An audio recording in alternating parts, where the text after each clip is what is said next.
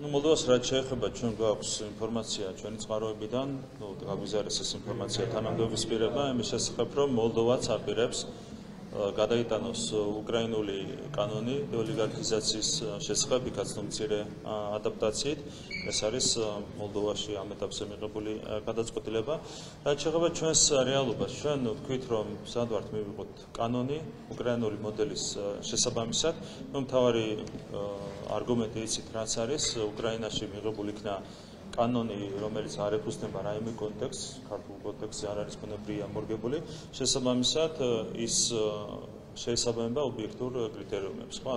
არ არის მორგებული არც ჩვენს ინტერესებზე და არც ოპოზიციის ინტერესებზე. ასეთ პირობებში მიგვაჩნია, რომ არის გონივრული უკრაინული კანონის გადმოტანა, რა თქმა უნდა, მცირე ადაპტაციები დაგჭირდება, მაგრამ პრინციპულად უკრაინულ კანონში არის მოცემული ოლიგარქის ნება და ღონისძიებები, რომლებიც უნდა იყოს მიმართული დეოლიგარქიზაციისთვის. და ოლიგარქი ყველა ქვეყანაში არის ოლიგარქი. ანუ დეფინიცია ვერ იქნება განსხვავებული, თუ ვინმე არის ოლიგარქად მისაჩნევი უკრაინაში, იგივე უნდა მოხდეს საქართველოსშიც. ხო ეს არის ობიექტური რაღაც კატეგორია. აქ და გამომდინარე აბსოლუტურად ლოგიკურია უკრაინული კანონის გადმოტანა. პრობლემა ოპოზიციისთვის რა შემდგომ მდგომარეობს. მათ დაინახეს, რომ სინამდვილეში ოლიგარქები არიან არა ჩვენს ხარეს, არამედ მათ მხარეს, ხო? ანუ ერთ-ერთი ცნობილი გახმაურებული შემთხვევაა დავით გეზერაშვილი, რომელმაც ორიოდე კვირის წინ აღიარებით ჩვენება გამოაქვეყნა, პირდაპირ აღიარა, რომ ის აფინანსებს პოლიტიკურ პარტიებს, მედიას და ეგრეთ წოდებულ არასამთავრობო ორგანიზაციებს, ხო? პირდაპირ აღიარებით ჩვენება მისცა მან ქართულ საზოგადოებას. ნუ ყველამ დაინახა, რომ გეზერაშვილი არის ოლიგარქი, ჭუტა არის ოლიგარქი, ხაზარაძე ჯაფარიძე არიან ოლიგარქები, სააკაშვილი არის ოლიგარქი, შესაბამისად ერთადერთი ვისაც დააზიანებს ასე ვთქვათ ეს კანონი ამ კანონის მიღება არიან ადამიანები რომლებიც მოქმედებენ სწორედ ოპოზიციის მხარეს ესენი არიან ნამდვილი ოლიგარქები რომლებიც ცდილობენ საქართველოსში ძალაუფლების მოპოვება. საქმე გამომდინარე ოპოზიცია არის სუბიექტურად დაინტერესებული რომ პარლამენტმა არ მიიღოს ეს კანონი. თუმცა იდგა ისეთ შეჭას საკითხი კანონების მიღება არ მიიღებს ოპოზიციასთან კონსულტაციებზე საუბრობთ თქვენ საერთაშორისო პარტნიორებზეც რადგან პირველი მოსმენით განხილვა სესიაზე უკვე იქნება დავიბარაუდოთ რომ ბოლომდე მიყვებით და მიღებული იქნება ეს კანონი გადაწყვეტილება მე მგონი ასე აჯობებს. შენ საბოლოო გადაწყვეტილება არ აქვს მიღებული, მაგრამ ალბათ ასე აჯობებს. ოპოზიციის სურვილია ამ ეტაპზე რაც იკვეთება, რომ მან დატოვონ უბრალოდ ბუნდოვანება ამ საკითხში. ანუ არსებობს ეს მოწოდებები დეოლიგარქიზაციაზე, მაგრამ ვინ არის ოლიგარქი და რა არის დეოლიგარქიზაცია ეს ყოს ბუნდოვანი? ჩვენ რა თქმა უნდა არ გვინდა ამ ბუნდოვანების დატოვება. ჩვენ გვინდა კანონის დონეზე ობიექტურად მოწესრიგდეს ის თუ ვინ არის ოლიგარქი, რას უნდა ნიშნავდეს დეოლიგარქიზაცია და ვერ გავყვებით რა თქმა უნდა ოპოზიციის ასე ვთქვათ დღის ეს რიგ სამკუთხედ. მათ უნდა ბუნდოვანების დატოვება დეოლიგარქიზაციის თემაზე, ჩვენ გვინდა ამაში სიცხადე შეტანა. ბატონო რა თქმა უნდა, შეხვედრაზე უნდა უნდა გითხოთ თქვენ რომ გითხათ თქვენ კონკრეტულად რა თემებზე ისაუბრეთ, იმიტომ რომ თქვენ ოპონენტებმა ამ შეხვედრების დასრულების შემდეგ თქვენ რომ აი ჩვენ ვესაუბრეთ რამდენად რთული ვითარება საარჩევნო გარემოს კუთხით ქვეყანაში და თქვენ თუ გქონდათ საუბარი აი საარჩევნო კოდექსის შესაძლებლობებთან რომელიც თქვენი თქმით აუნჯობესებს ამ გარემოს ჩვენ საუბარი ქონდა კიდევ ერთხელ რა თქმა უნდა წინა არჩევნებზე მიმოვიხილეთ კიდევ ერთხელ ეს ვითარება რაც იყო შექმნილი ამ არჩევნების გარშემო როგორც საპარლამენტო ასევე მუნიციპალური არჩევნების გარშემო და ასე ვისაუბრეთ სამამულო ცვლილებებზე საკონტროლო რეფორმაზე რომელიც ხორციელდება მათ შორის 12 პუნქტის ფარგლებში და დეტალებიც გავაცანით ჩვენს მეგობრებს ევთო ოდირიდან. რა თქმა უნდა საუბარი ქონდა მათ შორის ელექტრონულ ტექნოლოგიებზე 19 რეკომენდაციაზე რომელსაც მიყვება ჩვენს მიერ შემოშავებული კანონ პროექტი და ქონდა ძალიან საინტერესო მოსწრეების გასვლა გამოცვლა. ორ კვირაში კიდევ ერთხელ ჩამოდის რამდენიც ცნობილია ჩვენთვის მისია.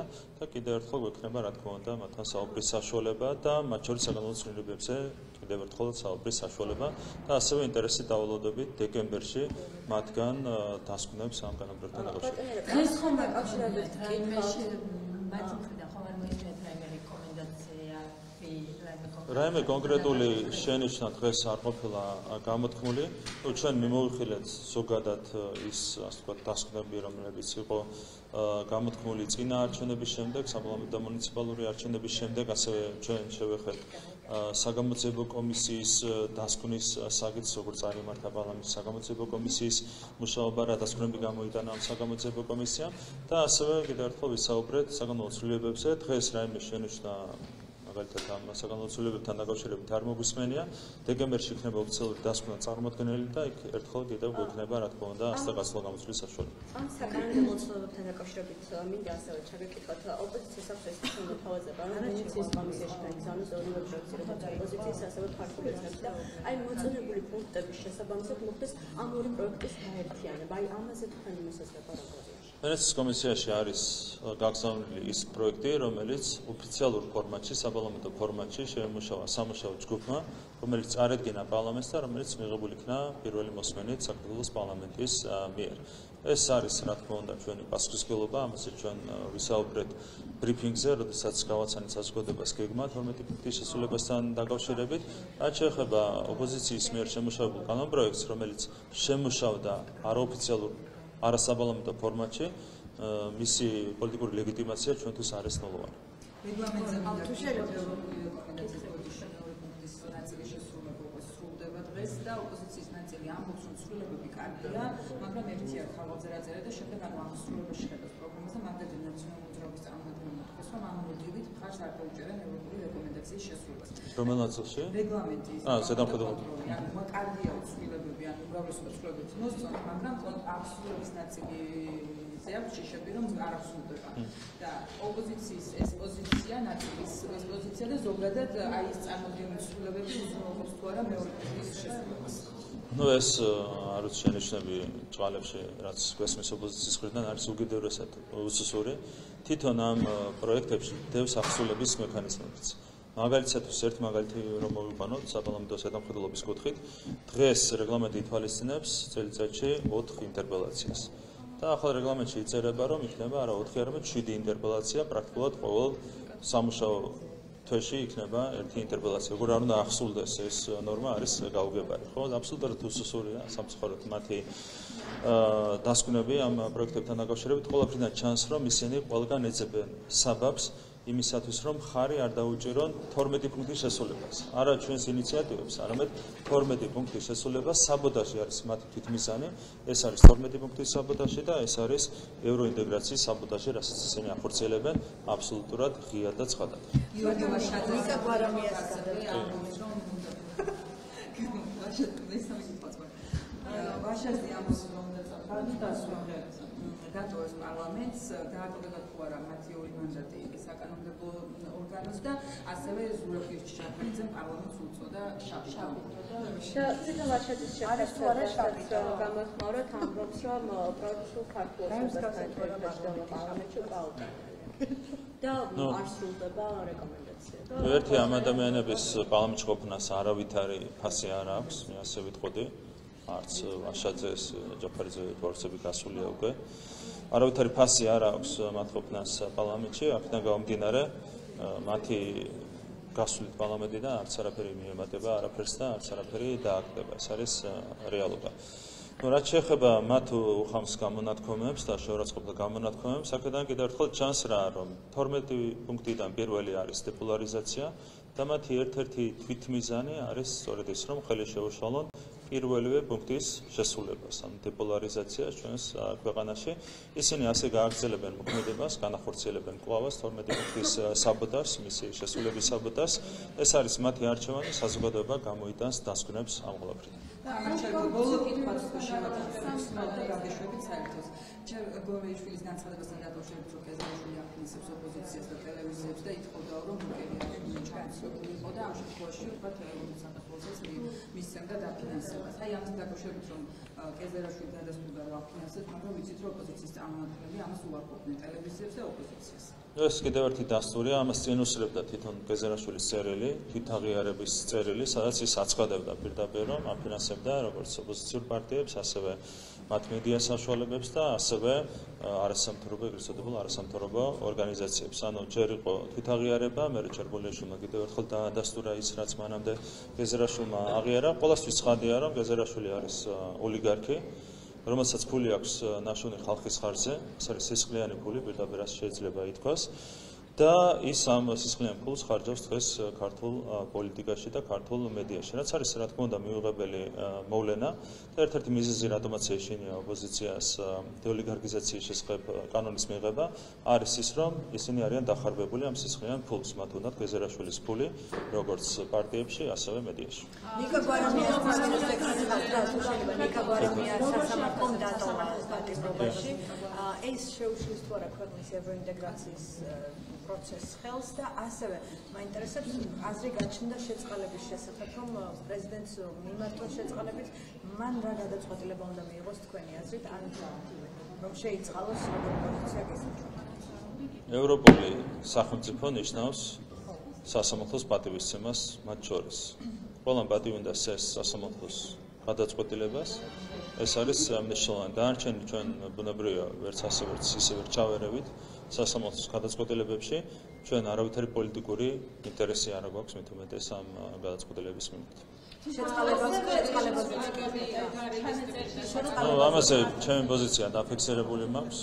თქვენ გახსოვთ როგორ შეურაცხყოფას აღენებდა მაგალითად იგივე სალომე ზურაბიშვილს იგა გვარამია ხო როგორი უშვერი სიტყვებით მოიხსენებდა მას ეს იყო არა მარტო პირადად სალომე ზურაბიშვილის, არამედ პრეზიდენტის ინსტიტუტის შეურაცხყოფაც და თუ ასეთ პირობებში პრეზიდენტი შეიწყალებს გვარამიას, ეს იქნება უკვე პრეზიდენტის ინსტიტუტის შეურაცხყოფა უშუალოდ საქართველოს პრეზიდენტის მიმართ მხრიდან. რაც არ ამგონია რომ სწორი იყოს.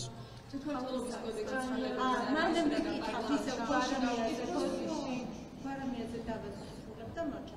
ევროპარლამენტის ევროკომისიის რეკომენდაციებში წერია რომ პოლიტიკური მარშრუტი შეჯიბრება უნდა შეწყდეს მათ შორის მედია მენეჯერების წინააღმდეგ. თქვენ რა პასუხი გექნებათ მომდენო მსგავს ევროკომისია არასწორად დაამატეთ. ევროპარლამენტის რეზოლუციაში კარგია რომ გაასწორეთ. აჩხო ევროპარლამენტს, ევროპარლამენტის რეზოლუციას აქვს ჩვენთვის რა თქმა უნდა ჩალის პასი, კიდევ ერთხელ გაიმეორებთ ამას, არის პოლიტიკურად მიგერძოებული და აქვს ძალიან კონკრეტული ინტერესი, რაც იდგა ამ რეზოლუციის ინიციატორების ამ რეზოლუციის ინიციირების უკან. აქედან გამომდინარე რეზოლუციას აქვს ჩალის პასი და მის თითოეულ ჩანაწერს აქვს რა თქმა უნდა ჩვენთვის ჩალის პასი.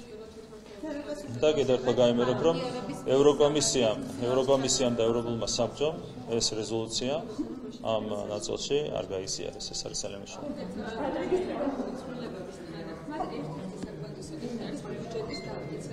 კი.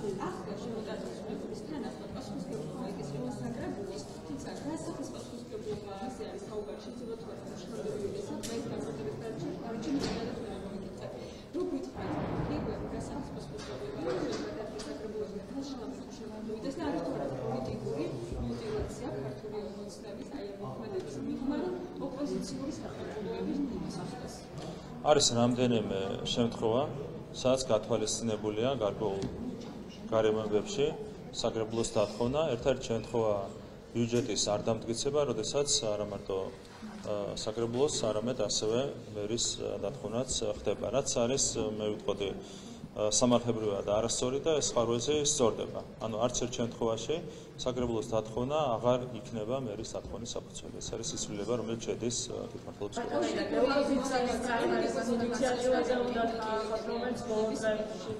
ან პოლიტიკური მოტივაცია არა, ანუ საგრებლოს დათხოვნას არ მოყვება მერის დათხოვნა, ანუ არ ვიცი რა პოლიტიკური მოტივაცია არის. ამაში თავარია რომ სამართლებრივად სწორია. ბატონო, პრაიმერის მოტივაცია უნდა ვიყოს, ეს თქვენ როგორც ოპოზიციის ნაწილში ბოლო წესში წარმოიძია ამ როგორ აფასებთ და ყურა რომ შეიძლება რეალური განვითარება ქონდეს ამ მე მგონია პრაიმერისი არის ერთგვარი ერთგვარი მაღალი მატერია და ფანჩატური და პრაიმერისი ერთმანეთთან არის შეუთავსებელი ცნებები აქედან გამომდინარე დიდი ასე ვთქვათ გულისხმობით ვერ დაველოდებით ამ პრაიმერისებს სამი ოპოზიციური პარტიის და ერთიანი სამართლებრივი შეიცვალა ვიცი ნაციონალური მოძრაობა უმეჩნევა ამ ერთიანობას პარტიების აიდას ნიშნავს ეს ну оппозиция არის დასუსტებული და ეს დასუსტება იწევს შიდა კონფლიქტებს, რაც ძალიან კარგია, იმიტომ რომ ასეთ დროს შანსი უშვება შედარებით რაციონალურ და ჯანსაღ პოლიტიკურ ძალებს, რომ დაიმკვიდრონ ადგილი პოლიტიკურ სპექტრში. რაც უფრო დასუსტება და მოირღვევა ოპოზიცია მით უკეთესი ჩვენი პოლიტიკური სისტემისთვის. თქვენი ხედვით ვინ არის ახლა ამ ეტაპზე პოლიტიკურ სპექტრში აი რაციონალური და უკუჩაძავი ну, ყველა მინუს რამდენიმე რადიკალური პარტია და ეს რადიკალური პარტიები ისეთ ვინც არის ყველა შემოთვლა შეიძლება გამიჭirdეს, მაგრამ რამდენიმეა სულ ასეთი, არის ნაცმოძრაობა, რელო, სტრატეგია ეს არის სამი საპარლამენტო პარტია. სხვები, ნუ საპარლამენტო პარტიები არ არიან, მაგრამ საპარლამენტო პარტიებს რაც შეეხება, არის სამი რადიკალური საპარლამენტო პარტია. ეს არის ნაცმოძრაობა, ლელო და სტრატეგია. გამთარდა. ბატონო, თქვენ რომ იყოთ ოპოზიციაში, მე მაინტერესებს თქვენ რა გულმას დასახავთ. ისინი ვინც თანამშრომლობენ, მათ იდეები ახლა კანონმდებლობები მაინც თქვენი დაწერილი და გატანილია. შემოდიან პარლამენტში და რაღაც უფრო ფუნქცია, ვიდრე თქვენთან თანამშრომლობის, სადაც არ აქვს რაღაც სივრცე, რომ თქვენ თანამშრომლობთ, ის თანამშრომლობთ ალბათ. აი, ექიანდებიან და რა თქმა უნდა, განსხვავებული აზრები აქვს და თქვენი ასე ვთქვათ, პოზიციები უფრო შეიძლება. ესე მე რო ყოფილიყავი ოპოზიციაში. მე მე რო ყოფილიყავი ოპოზიციაში, ერთი რომ ყალბ კამპანიას არ წამოვიწყებდი არჩევნების გაყოფებასთან დაკავშირებით და ვაღიარებდი არჩევნების შედეგებს, იმიტომ რომ ეს არჩევნები ოპოზიციამ მართლა წააგო, საპარლამენტო წააგო და მუნიციპალური არჩევნებიც წააგო და თან წააგო პირწმიდად. ეს პირველი. მეორე, მით უმეტეს საბოტაჟს არ განახორციელებდი ერთი წლის მანძილზე. პრაგმატულადაც მოსვალ ამ საბოტაჟმა პირველ რიგში თვითონ რადიკალური ოპოზიცია. ჩვენ გამარჯვებული გამოვედით ამ პროცესიდან, თვითონ მოიშალე. რატომ? შესაძაც მართალი არ ახარ და არა მართალ საფუძველზე იწყებს საბოტაჟს, შენ თვითონ ინგრევი და ეს მოხდა ზუსტად ამ რადიკალური ოპოზიციის შემთხვევაში. ამის შემდეგ უკვე არ წამოვიწყებდი ესეთ რიტორიკას, რომელიც იქნებოდა მიმართული მეორე ფრონტის გაჩაღებისკენ, ომისკენ და ასე შემდეგ. არ მოვითხოვდი მაგალითად მოხალისეების გაგზავნას თავრობის ნებართვით უკრაინაში, არ მოვითხოვდი სანქციების დაწესებას, მე რო უკან წაიღეს სხვათა შორის სანქციებთან დაკავშირებით ეს მოთხოვნა და განაცხადეს, რომ არ ემხრობიან სანქციების დაწესებას და ასე შემდეგ. ანუ ასევე რევოლუციაზე არ ვისაუბრებდი ყოველდღიურ რეჟიმში, იმიტომ რომ ყველაფერთან ერთად ეს საუბარი რა თქმა უნდა ხელს უშლის ქვეყნის განვითარებას. ვერაფერ ხებენ ფუნდამენტურად და საფუძვლიანად, მაგრამ გარკვეული ხინჯი შეაქვთ ქვეყნის განვითარებაში. ანუ ასეთ რაღაცებს არ გავაკეთებდი, იქნებოდი კონსტრუქციული, წარმოადგენდი ისეთ ინიციატივებს, რომელიც შეიძლება გაზიარებადი ყოფილიყო უმრავლესობის მხრიდან, მაგრამ დღეს ისინი გამოდიან თლიანად ისეთ ინიციატივებით, აი ალბათ მაგალითად სასამართლო. ინიციატივები რაც აქვს სასამართლოსთან დაკავშირებით, თლიანად ემსახურება სასამართლოს დამოუკიდებლობის ხელყოფას. ანტიმონოპოლიური ემსახურება სისტემის მოშლას და შემდეგ. ანუ რაც კი აქვს ინიციატივები, ყველაფერი არის სისტემის მოშლისკენ მიმართული და ამას აღიარებენ კიდეც. ამბობენ რომ სისტემა კი არ უნდა დაიხვეწოს, არამედ სისტემა უნდა დაინგრეს და თითოეული ინიციატივა სისტემის დაანგრევისკენ არის მიმართული. რა თქმა უნდა, ვერც ერთ მათ ინიციატივას, რომელიც არის სისტემის დაანგრევისკენ მიმართული, ვერ გავიზიარეთ, როცა უნდა სასამართლო სისტემის დაანგრევა, როცა უნდა ზოგადად მართლობის სისტემის დაანგრევა და ამ შემდეგ, მათ ინიციატივები ბუნებრივია ვერ იქნება გაზიარებული. მე წარვადგენდი ისეთ ინიციატივებს, რომლებიც იქნებოდა მიმართული არა სისტემის დაანგრევისკენ, არამედ სისტემის დახვეწისკენ. აი, როდესაც სასამართლო რეფორმაზე საუბრობთ, ახლა არ მოხდება დიდი ხანი. ჩარქვები ჩავარდა.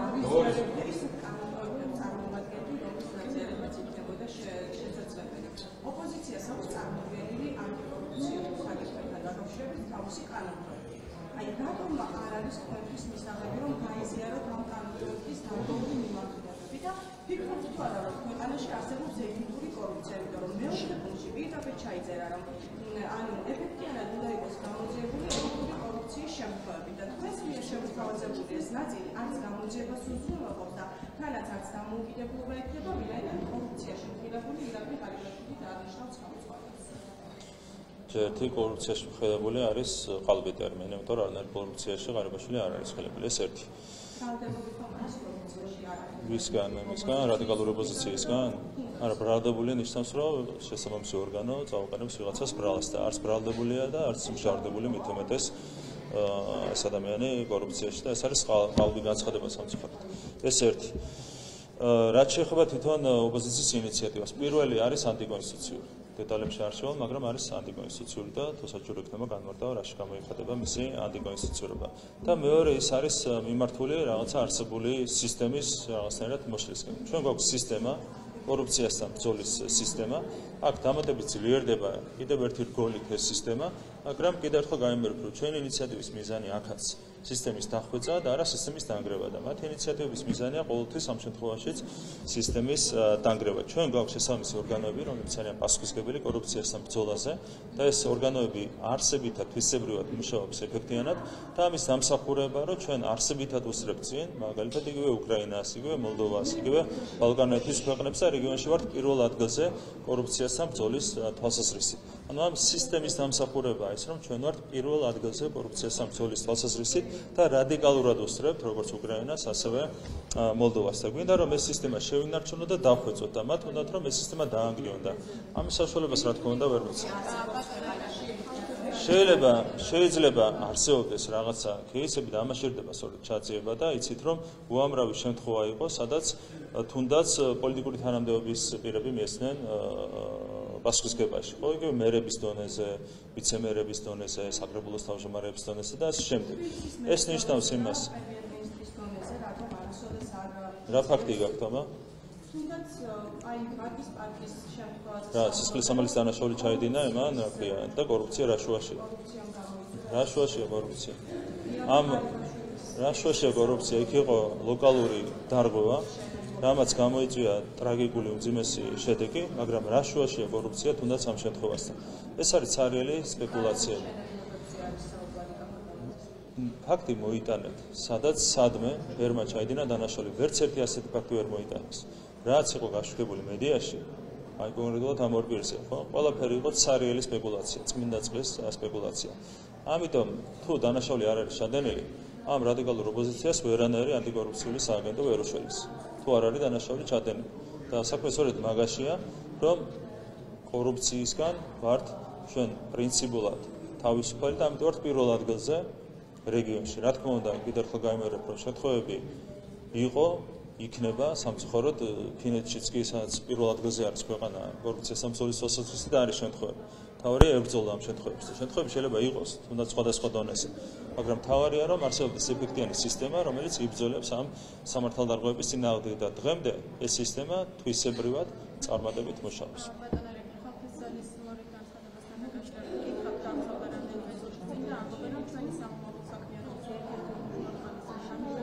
ეგრეთ წოდებული ლიდერალების მიერ წარმოებული აგრესიული კამპანიის იქნება იქნება 200 ნიშნის განცხადება არის თუ არა ეს პრობლემა საქართველოში და როგორ შეფასებთ ისინი ისევ პასუხებს ითხოვენ ამერიკაში მე ჯერჯერობით სამწუხაროდ ვერ მოახერხე ამ წერილის საკითხვა, რომ წავიკითხავ მე რა შემეძლება კომენტარის გაკეთება.